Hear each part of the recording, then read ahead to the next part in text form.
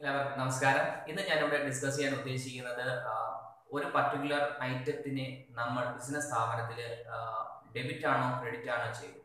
എന്തുകൊണ്ടാണ് ഡെബിറ്റ് ചെയ്യുക? അല്ലെങ്കിൽ എന്തുകൊണ്ടാണ് ആ പർട്ടിക്കുലർ ഐറ്റം നമ്മൾ ക്രെഡിറ്റ് ചെയ്യാൻ കാരണം? ഇതിനെ കുറിച്ചാണ് ഞാൻ ഇവിടെ ഡിസ്കസ് ചെയ്യുന്നത്. നമ്മളൊരു പർട്ടിക്കുലർ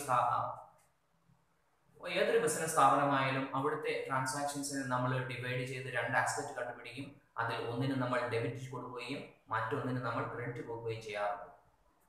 ഏതൊക്കെ റൂൾ അനുസരിച്ചാണ് നമ്മൾ ഒരു പർട്ടിക്കുലർ ഐറ്റത്തിന് ഡെബിറ്റ് കൊടുക്കുക? അല്ലെങ്കിൽ ഏതൊക്കെ റൂൾ അനുസരിച്ചാണ് ഒരു പർട്ടിക്കുലർ ഐറ്റത്തിന് ക്രെഡിറ്റ് കൊടുക്കുക എന്നാണ് ഞാനിവിടെ ഡിസ്കസ് ചെയ്യാൻ പോകുന്നത്.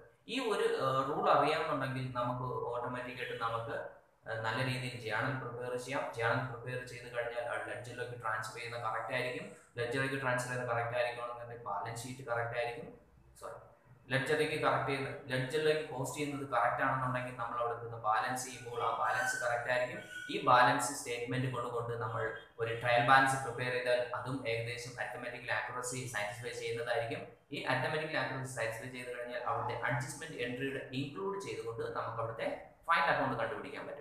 അതായത് നമ്മുടെ ബേസ് കറക്റ്റ് ആണെന്നുണ്ടെങ്കിൽ നമുക്ക് അങ്ങോട്ടുള്ള എല്ലാ സ്റ്റെപ്പുകളും നമുക്ക് കറക്റ്റായി പോകും. അതുകൊണ്ട് ഇത് എന്താണെന്ന് മനസ്സിലായി കഴിഞ്ഞാൽ ദാറ്റ് ഈസ് ഈ പറയുന്ന ഐറ്റങ്ങൾക്ക് എന്താണ് അതിന്റെ ക്യാരക്ടർ എന്തുകൊണ്ടാണ് ഞാൻ ഡെബിറ്റ് ചെയ്യുക? അല്ലെങ്കിൽ എന്തുകൊണ്ടാണ് നമ്മൾ അതിനെ ക്രെഡിറ്റ് ചെയ്യുക എന്നതിനെ കുറിച്ച് അറിയാമെന്നുണ്ടെങ്കിൽ നമുക്ക് ഈസി ആയിട്ട് നമുക്ക് ഈ ഫൈനൽ അക്കൗണ്ട് കംപ്ലീറ്റ് ചെയ്യാവുന്നതാണ്. ഞാൻ ഇവിടെ പറഞ്ഞുതരാം. എങ്ങനെ എന്തുകൊണ്ടാണ് അല്ലെങ്കിൽ എങ്ങനെയാണ് ഒരു പർട്ടിക്കുലർ എങ്ങനെയാണ് ഒരു പർട്ടിക്കുലർ ഐറ്റത്തിന് നമ്മൾ ഡെബിറ്റോ ക്രെഡിറ്റോ കൊടുക്കുക എന്നതിനെ കുറിച്ചാണ് ഞാൻ ഇവിടെ ഡിസ്കസ് ചെയ്യാൻ പോകുന്നത്. ഞാൻ ഇവിടെ രണ്ട് കോളം പ്രൊവൈഡ് ചെയ്യാണ്.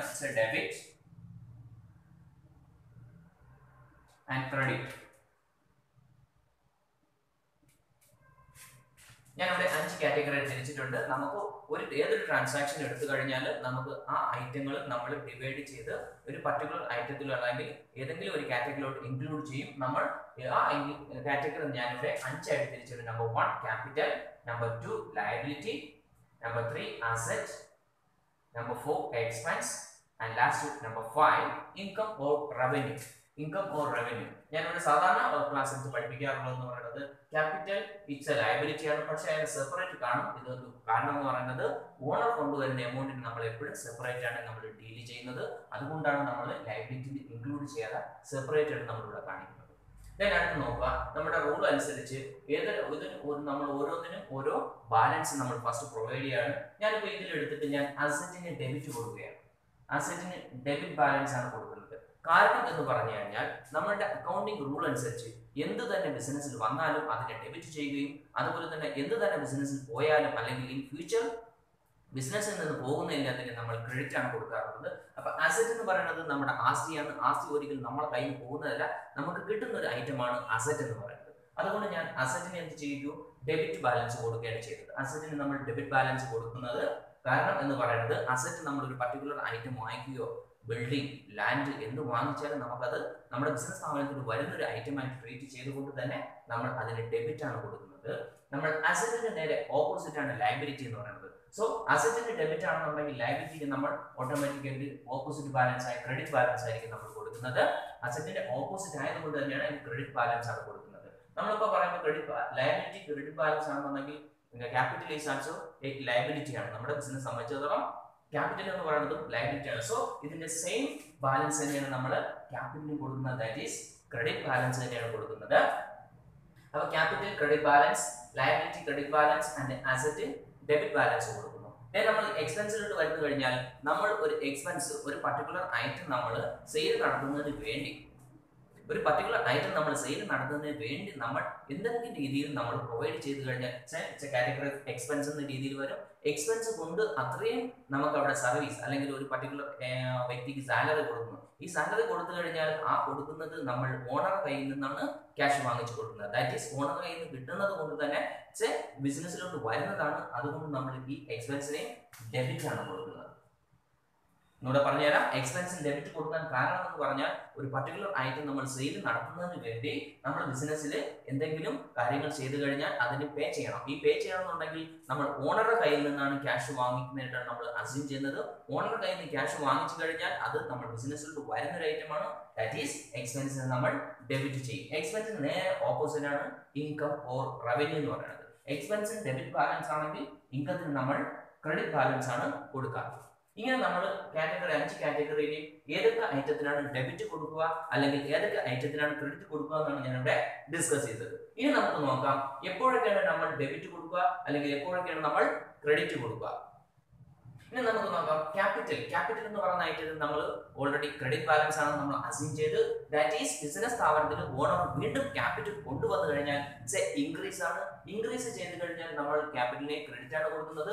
ദാറ്റ് ഈസ് ഇൻക്രീസ് ചെയ്ത് കഴിഞ്ഞാൽ ക്യാപിറ്റലിനെ ക്രെഡിറ്റ്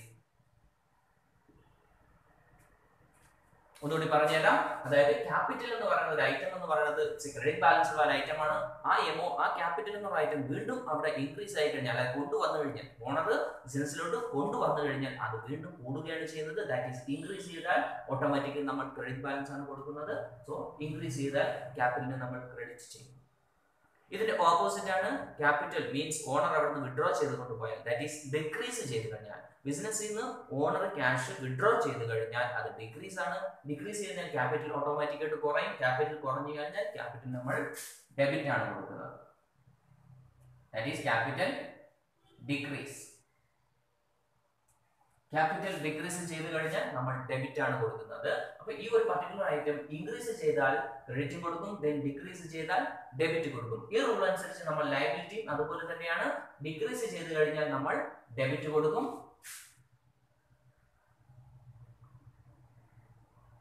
ദെൻ ഇൻക്രീസ് ചെയ്ത് കഴിഞ്ഞാൽ ക്രെഡിറ്റ് കൊടുക്കും.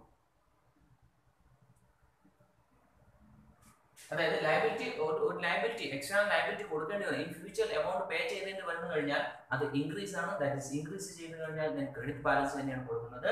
ദെൻ നമ്മൾ അസറ്റ് എന്ന കാറ്റഗറിയിലോട്ട് വരുമ്പോൾ അസറ്റ് എന്ന് പറയുന്നത് ലയബിലിറ്റിന്റെ ഓപ്പോസിറ്റ് ആണ്. ദാറ്റ് ഈസ് ഇൻക്രീസ് ചെയ്ത് കഴിഞ്ഞാൽ നമ്മൾ ഡെബിറ്റ് ആണ് കൊടുക്കുന്നത്. ഒരു അസറ്റ് എന്ന് ഐറ്റം അസറ്റിന്റെ ബാലൻസ് എന്ന് പറയുന്നത് ഡെബിറ്റ് ബാലൻസ് ആണ്. ഡെബിറ്റ് ബാലൻസ് ഉള്ള ഐറ്റം ഇൻക്രീസ് ചെയ്തു കഴിഞ്ഞാൽ അവിടെ ഡെബിറ്റ് തന്നെ ദാറ്റ് ഈസ് ഇൻക്രീസ് ഇൻക്രീസ് കൊടുത്തു കഴിഞ്ഞാൽ നേരെ മറിച്ച് നമ്മളൊരു അസറ്റ് എടുത്ത് സെയിൽ നടത്തി ചെയ്യുന്ന അത്രയും അസറ്റ് കുറയുകയാണ്. ഈസ് ഡിക്രീസ് ചെയ്ത് കഴിഞ്ഞാൽ നമ്മൾ ക്രെഡിറ്റ് ബാലൻസ് ആണ് കൊടുക്കുന്നത്. ഡിക്രീസ് ചെയ്ത് കഴിഞ്ഞാൽ നമ്മൾ അസറ്റ് എന്ന് പറയുന്നത് ക്രെഡിറ്റ് ബാലൻസ് ആണ് കൊടുക്കുന്നത്. എക്സ്പെൻസ് കാറ്റഗറി വരുമ്പോൾ അസറ്റിനെ എങ്ങനെയാണോ ട്രീറ്റ് ചെയ്യുന്നത് അതുപോലെ തന്നെയാണ് നമ്മൾ എക്സ്പെൻസിനെ ട്രീറ്റ് ചെയ്യുന്നത്. എക്സ്പെൻസ് ഇൻക്രീസ് ചെയ്താൽ ഡെബിറ്റ് ആണ് കൊടുക്കുന്നത്. എക്സ്പെൻസ് ഇൻക്രീസ് കഴിഞ്ഞാൽ ഡെബിറ്റ് ആണ് ദെൻ എക്സ്പെൻസ് ഡിക്രീസ് കഴിഞ്ഞാൽ ക്രെഡിറ്റ് കൊടുക്കും.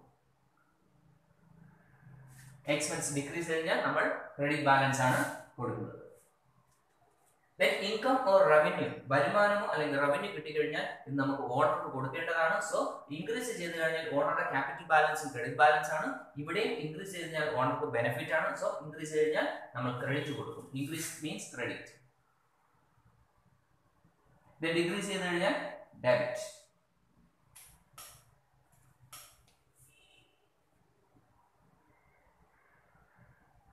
ഡിക്രീസ് ചെയ്ത് കഴിഞ്ഞാൽ നമ്മൾ ഡെബിറ്റ് ആണ് കൊടുക്കുന്നത്. ഇതാണ് നമ്മുടെ അക്കൗണ്ടിങ്ങിന്റെ മെയിൻ റൂൾ എന്ന് പറയുന്നത്. എന്തുകൊണ്ടാണ് ഒരു ഐറ്റം നമ്മൾ ഡെബിറ്റ് ചെയ്യാൻ കാരണം? അല്ലെങ്കിൽ എന്തുകൊണ്ടാണ് ഒരു ഐറ്റം നമ്മൾ ക്രെഡിറ്റ് ചെയ്യാൻ കാരണം? നമ്മൾ ഓരോ ഐറ്റത്തിനും നമ്മൾ അതിന്റെതായ ബാലൻസ് ഫസ്റ്റ് പ്രൊവൈഡ് ചെയ്യണം. എന്തുകൊണ്ട് പ്രൊവൈഡ് ചെയ്യുന്നതെന്ന് പറഞ്ഞത് ഞാൻ ആദ്യം പറഞ്ഞു. എന്തുകൊണ്ടാണ് ഞാൻ അസറ്റിന് ഡെബിറ്റ് കൊടുക്കാൻ കാരണം? അല്ലെങ്കിൽ എന്തുകൊണ്ടാണ് ലയബിലിറ്റിക്ക് ക്രെഡിറ്റ് കൊടുക്കാൻ കാരണം പറഞ്ഞു കഴിഞ്ഞു. ഈ ക്രെഡിറ്റ് കൊടുത്തു കഴിഞ്ഞാൽ ആ പർട്ടിക്കുലർ ഐറ്റം ഇൻക്രീസ് ചെയ്ത് കഴിഞ്ഞാൽ അത് തന്നെ ചെയ്യും. ദാറ്റ് ഈസ് ക്യാപിറ്റൽ ഇൻക്രീസ് ചെയ്ത് കഴിഞ്ഞാൽ ക്രെഡിറ്റ് തന്നെ ചെയ്യും. ക്രെഡിറ്റ് ബാലൻസ് ആയതുകൊണ്ട് ഇൻക്രീസ് ചെയ്ത് കഴിഞ്ഞാൽ ക്രെഡിറ്റിന് ചെയ്യും?